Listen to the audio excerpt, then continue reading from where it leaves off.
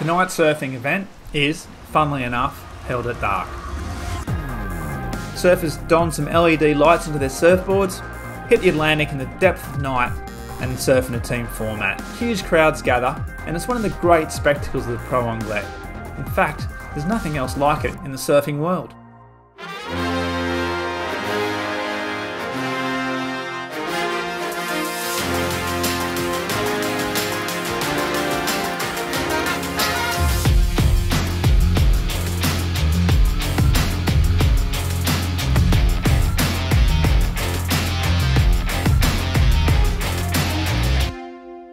Like summer in France, you know, it's it's pretty much the best time of the year. It gets dark at like 10 p.m., 10:30, so everyone's on the side walking by the sea, watching, and uh, they come have dinner at like 8. There's people, you know, drinking beers, there's activity, there's concert, and for the people that don't even know surfing, they come, they walk by, they watch, they're like, oh, you know, they get excited and you know, intrigued.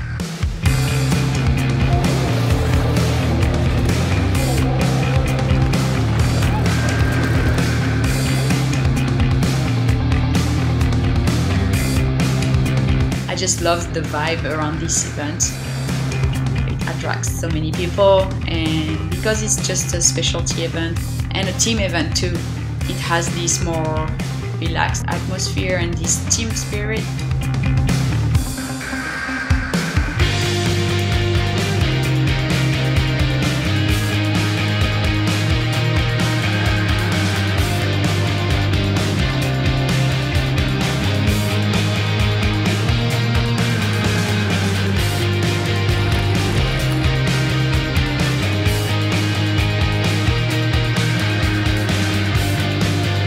When there's like big events like that in town, you always want to be there and make a good show for everyone.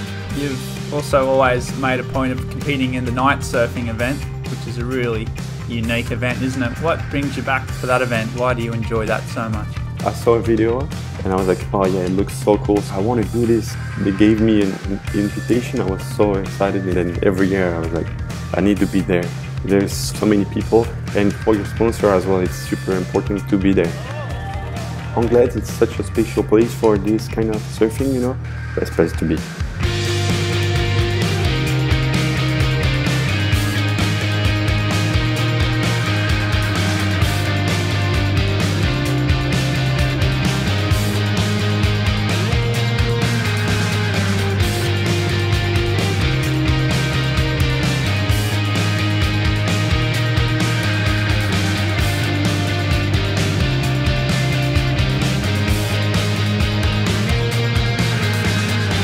Not something that you do normally at home, is it? So, or, or anywhere. So, how, how, how weird is that?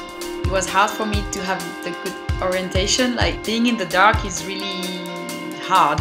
Uh, even though we have the LEDs on the boards and the lights to see the waves, it's pretty challenging, I have to say.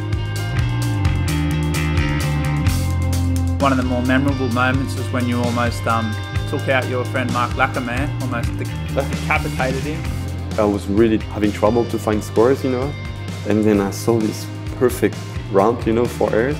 And then I was like, oh, okay, let's do the show, you know. I'm, I'm a showman, so I was like, just let's go for it. And then Marc was just like doing a bottom turn. Ah, That was scary because I think I was about this to hurt him, you know. Happy that I didn't hit him, you know.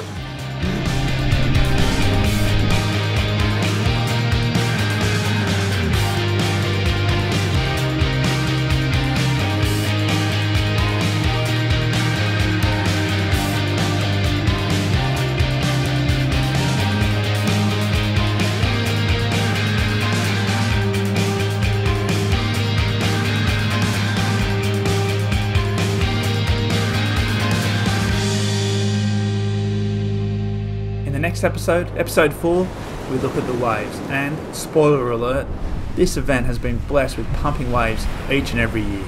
Stay tuned, folks.